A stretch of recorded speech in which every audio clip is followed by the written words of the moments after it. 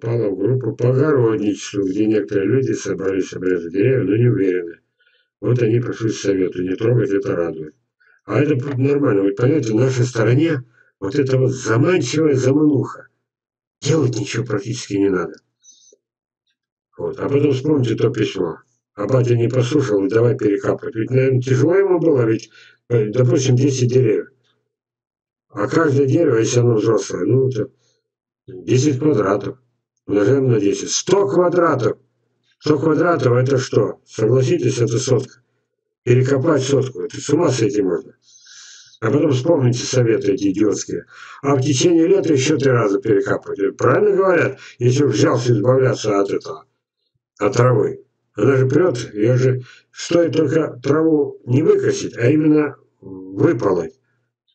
Месяца не пройдет, все опять по, по, по колено, если хорошая почва. Она опять по колено. И куда деваться? Ведь они, появилась возможность зайти новым этим самым семенам. Опять перекопал. Это каторга, ну какой черт. И все равно, хоть им должно быть, вот вы говорите, некоторые люди собрались собирать деревья, но не уверены. Вот они прислушиваются. Ну, пока это радует. А потом все-таки кто-то додолбит, на каждой группе обязательно есть лидер.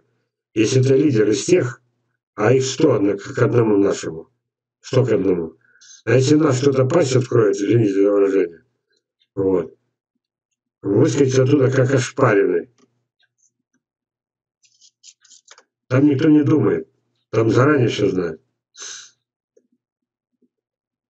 Так.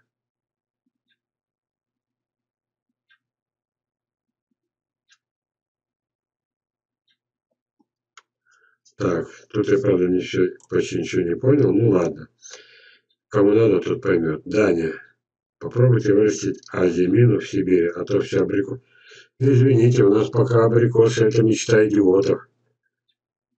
Вы знаете, в этих Омск, Томск, Красноярск, Новосибирск, это, это самое, Тюмень, э, значит, этот самый, все населяет Урал, это миллионы саженцев. И вранье, что на месте вырастили. Нету абрикосов этих садов. Нету таких, которые вот с такими они показывают. Там сколько их уже это попадались на моих фотографиях. А, а, а вы вот решили что? Это у вас что, пальцы гнете? Я не знаю, что такое азимина. Почему я должен расти в Сибири? Я сказал, почему абрикосы нужно расти. Единственный человек заказал крупную партию косточек, я ему что-то продал, что-то подарил.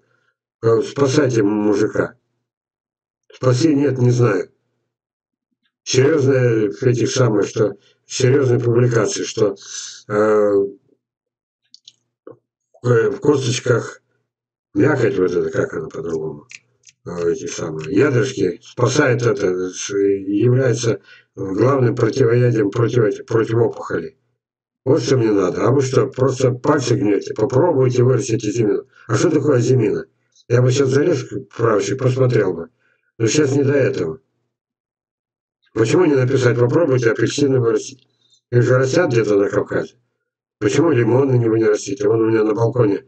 У каждый год три лимона. Этого мало. То есть не на балконе, а на подоконнике. Почему сразу не пальму с этими, которые на ней висят, как их? Бананы. Зачем вы это пишете-то? А то абрикосы. Да мы про абрикосы пока мечта идиотов. Нас считают идиотами. Вы что-нибудь другое придумайте. Скажите, ребята, я, я с вами в душе. Я тоже хочу, чтобы у нас не болели. А, это шанс, понимаете? Абрикосы, которые вы сейчас чуть ли не это, многие об них не вытерли. Это шанс, это шанс. Для людей. Тысячи людей умирают в муках. Что по-другому нельзя было написать. Здравствуйте, Олег Костевич. Привел это весной волчную вишню, напоролся обычной вишни. Фу, интересно. Так, это весной. А это вы нам скажете, ошибка или правильно. И мне такое в голову не пришло. Для меня волчная вишня, Виктор, это э, вариант сливы. Не сливы, а вид очень близкий к сливе. На нее и абрикос умудряется прививать. И сливу умудряется, и алычу, и терн, и терносливу. Что только не это. Она настолько персик принимает. Правда, ну, меня сейчас есть персик привитый на волчную вишню. И зацветает, кстати. Вот потом вам покажу, когда цветет. Если заморозки минует, очень покажу вам э, эти самые персики. Она же не, у меня в открытой форме. Это, это уже сенсация.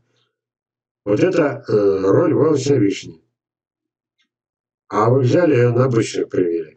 Давайте подумаем, какова цель. Волосная вишня, она в природе отросткам не дает. Если удается сохранить какую-то одну, ну я как, одного соседа у третьего, десятого раз сладкая, раз косточки прорастил. Они опять разные, и сладкие встречаются, и не сладкие. Вот, это так же, как эти, казалось бы, ну, фундук, культурный орех, да, культурный. Вот такие крупные, такие, о-о-о, все есть. Ее еще надо умудриться размножить. Че, взял ее, э, есть такое соотношение 3 к 1. Косточку с фундука взял, получил три дикаря, а четвертая только культурная. Это часто встречается. Так ведь? Вот куда деваться от, от диких предков? Вот, так и тут. Овощная вишня может быть сладкая, а в этих, я, я рассылаю косточки овощной вишни. Они опять будут сладкая, не сладкая, кислая, кисло-сладкая, опять сладкая. Видите как? А вы ее взяли, привили на обычную вишню. Для того, чтобы привить на обычную вишню, надо надеяться, что у вас она не просто волосная, она самая сладкая из волосных, и прививка должна сохранить. Она быстро плодоносит на четвертый, третий, четвертый год, на четвертый обычно. Вот, поэтому прививать ее специально, чтобы быстрее получить урожай, не обязательно. Вот вы взяли обычную вишню, а она кислая. Прибавит она сладость волоса, неизвестно. Но и попробовать можно. Значит, получается, ответ такой, ошибка или нет, я не знаю. А вы нам потом расскажете. Она, может, еще и умрет тут же. Вот. Но я люблю вот таких, как вы. Я люблю вот так же экспериментировать. Вот. Считалось, что не, не может быть оно. Вот оно. Каждое поколение все лучше, вкуснее, крупнее. Это касается и груш, и абрикосов. Вот. А вот этому товарищу я скажу, как он там, что я ему скажу. Когда доберемся до вашей этой Гена там. До вашей зимины доберемся. Климат меняется в теплую сторону. Наоборот, вперед, вперед, быстрее, быстрее. Рисковать, побольше заказывать. Все, я не смог продать все э, орехи манжурские. Ценнейшая вещь. Ничего. Сегодня две банки с этими трехлитровые с этими орехами э, сфальсированные. Моя это, э, Юлечка моя племянница уже высадила, сотню косточек персика высадила, вот. И еще будет высаживать вишни. Вишни мы сроду, вспоминайте, вишни мы никогда не садили на то, чтобы вырастить, ну пусть как подвой, или просто корнесобственную вишню. Никогда, вспоминайте, не было в каталоге. Ни одного саженца не было. Так? Надо исправлять эту ошибку. Пусть будет. А потом станете вы на нее прививать волочку. Это уже дело ваше. Так, Гусева хорошо прививает волочную на простую вишню. О, пожалуйста, Елена Гусева уже знает то, чего я не знаю. Я просто не пробовал. Итак, волочка хорошо приживается на простую вишню. Так, Виктор, от вас информация. Приживется ли? И так каждый год, пока, чуть не сказал, пока я жив. Всем привет из Москвы. Так, Виктор, уважаемые садоводы, хочу поделиться своими наблюдениями. Ох, как я их люблю, эти наблюдения. Персик хасанский, привитый на улице Вишью этой зимой практически погиб. Ой, тяжело переживается, я вам скажу. А вот корнесобственный скотчик Бродского все живы и здоровы. Все сажал на холмы, не обрезал. И результат такой, какой есть. Хотелось бы услышать ваше мнение. Так, а что я скажу? Значит, персик хасанский на волостой вишне у меня тяжело идет, у меня осталось одно единственное дерево, начиналось с 20. Поэтому я не могу сказать, что вообще нельзя прививать. Речь идет о том, что вот сейчас у меня выжил, плодоносит одна единственная персик, привитый на волосную вишню. Один единственный. Уже если я с него возьму веточки и привью снова на волочку, у меня уже будет целый клан их. Второе поколение лучше приживется. Это называется, сами понимаете, уже насыщение ментора по Мичурину. Так. И постепенно еще поколение, еще поколение тоже по железу, и тогда они будут прекрасно совмещаться. Прекрасный подвой. Так. В виде волочки и персик в виде привоя. Все это будет впереди. Но этим надо заниматься. У меня одно есть. Я не стал с него срезать ни одной ветки. Не стал переносить. У меня есть полно волосых вишен. Не стал переносить. У меня нету. Я, я заменил собой не один институт. Но все садоводство страны я заменить не могу. Это тоже направление. Так же, как прививки э, персиков, не так, прививки абрикосов на сливы, прививки сливы на абрикосу. Если абрикосы на сливы, значит, позже зацветут. Вспоминайте, меньше грунтовой воды будут доставать. Все это надо, и причем поколение забыть. Но нету таких направлений. У нас есть сорт А, скрестили сортом Б, и опять в виде косточек, семечек. И попробуйте вы получить там вот такой вот. Вот. И все это бесконечно нудная, ненужная совершенно в стране работа.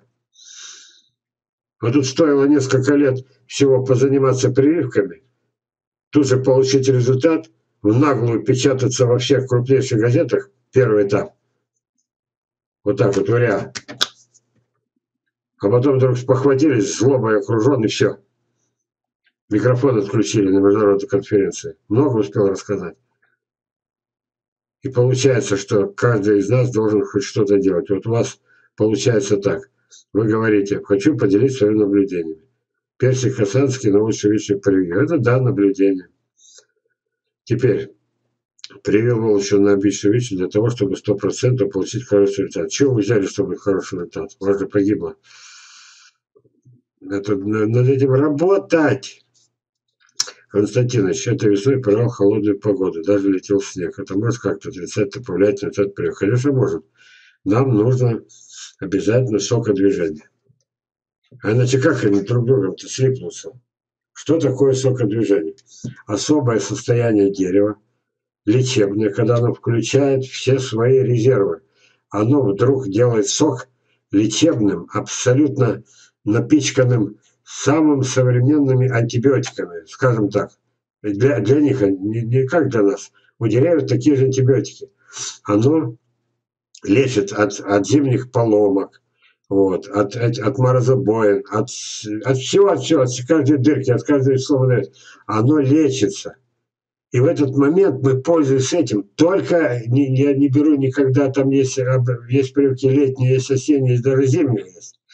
Берем только раннюю весну, когда вдруг становится тепло, и сок начал бешено. Ведь, представляете, это же чудо, когда вот береза, дырку проковыряй, ничего нет. И вдруг только весной прямо аж ручей из нее течет. Это особое состояние, когда вымывается все, все эти самые токсины из нее, все, омолаживание происходит. И мы этим пользуемся, и в этот момент сращение происходит максимально качественно. Значит, что получается? У вас видите как? Весной привал холодную погоду, летел снег. Значит, рановато привали. Как я, я тоже начинал, даже зимой, при минус, ну, при нулю, при минус пяти. Когда торопился, при минус десяти привал. Но стоило накрыть бутылкой, помните мой метод? И там уже не 0, а плюс 10. Там уже не, не, не, не минус 10, а солнышко уже плюс 5 дает. Помните, вокруг вытаивал снег, вокруг бутылок? Вот. И получается, что, скорее всего, у вас результат был некачественный из-за того, что вы рано начали. Иван Мо. На ютубе в комментариях написали, видимо, по торфяным горшочкам фото были сделаны после полива. Фото после полива. А, ну, нормально. Наверное, после полива. Я тоже так подумал. Чтобы бутылки не болтались и не улетали, пришпилить их шпажками. Это когда прививка у земли. Ну, такие фотографии мы и видим. Написано, соединение поверено. Вот, пожалуйста, я вас прошу, чтобы кто-то мне позвонил и сказал, вы меня слышите или нет. А то получится, что я в пустоту говорю. Уже такое бывало. Жду звонка, что соединение восстановлено. Заодно чаем люблю.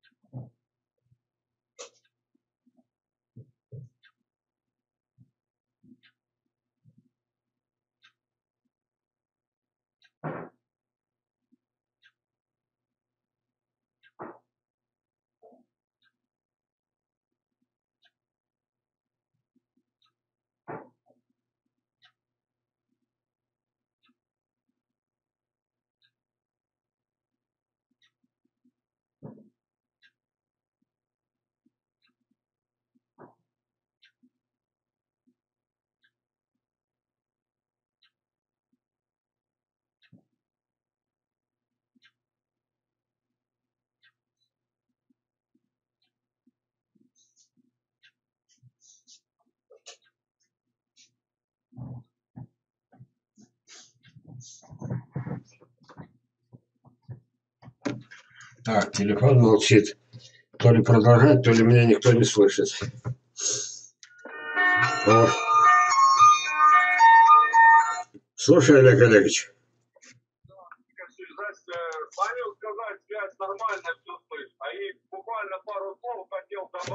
Сейчас, сейчас, я шо, хочу, чтобы все вас слышали. Говорите. А, высаживал стратифицированную вашу ранетку, э, сливу китайку и э, уссурийку. Значит, по уссурийке э, схожесть после стратификации костики полезли схожесть порядка 98%. Это что еще раз? Груша уссурийская. А, которая у меня месяц назад кончилась, думал, никому не надо. Ну, я, я, я еще осенью заказываю. А, ну да. Я уже ученый, поэтому знаю, что надо заказывать все заранее. Ага. По ранетке 90% схожесть. А, да, а, слива китайская 70%. Так, давайте теперь это, учите. Учеба есть учеба. Значит, назначаю вам ответственный заместитель по этим самым, по научной части. Итак, значит, вы все брали в сухом виде, правильно? Значит, по порядку. Уссури эти самые э, сливы, короче, сколько времени стрицировали? А, сразу после Нового года. Все правильно, три, три месяца, понятно.